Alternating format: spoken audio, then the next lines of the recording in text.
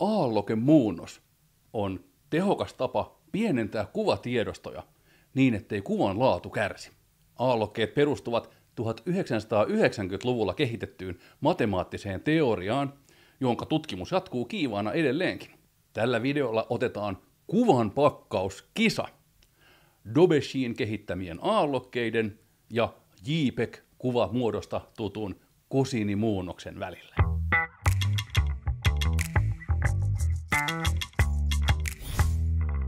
Vasemmassa reunassa Ranskaa edustava Joseph Fourier, jonka teoria lämmön johtumisesta ravisteli tiedemaailmaa 1822. Hän yhdisteli eri taajuisia sini- ja kosini-aaltoja hienolla tavalla, joka vielä nykyäänkin palvelee ääni- ja kuvatekniikkaa älypuhelimissa ja muuallakin. Oikeaan reunaan asettuu belgialainen Ingrid Dobeschi, joka kehitti oman aalokeperheen 1990-luvulla. Hänen matematiikkaansa on käytetty esimerkiksi Van Goghin ja Rembrandtin maalausten aitouden todentamiseen. Laitetaan Siltasen puhuva pää kahtena kappaleena ruudulle. Vasen puoli pakataan kosidimuunnoksella vaihtamalla pienimpien muunnoskertoimien tilalle nollat. Tämän olenkin selittänyt aikaisemmassa videossa, laitan linkin tonne selostukseen. Oikean puoleen naama pakataan Dobeshin aallokkeella numero kolme, joka näyttää tältä. Pakkauksessa on sama idea, eli pienimmät aallokekertoimet korvataan nollalla, jolloin niitä ei sitten tarvitse luetella siellä kuvatiedostossa. Kuvan pakkauskisa alkakoon! Nollataan 90 prosenttia muunnoskertoimista. Kumpikaan muunnos ei näytä välittävän pakkaamisesta mitään. Kuvan laatu on loistava.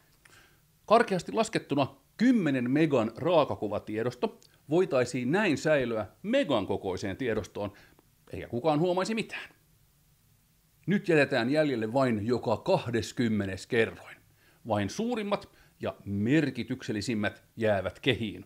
Minusta tässäkään ei kauheasti näy mitään jälkiä pakkauksesta, vaikka 95 prosenttia kertoimista on heitetty pois. Uskomatonta.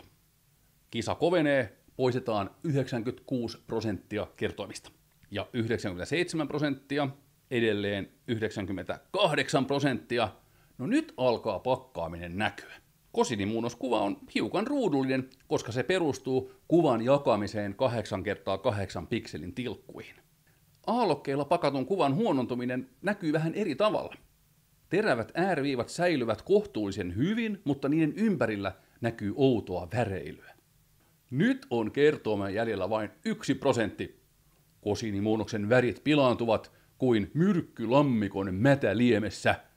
Kisa taitaa olla ratkennut aallokkeiden eduksi.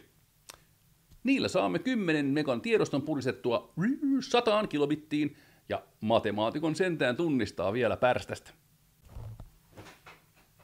Runnotaan kuvaa vielä vain rankemmin.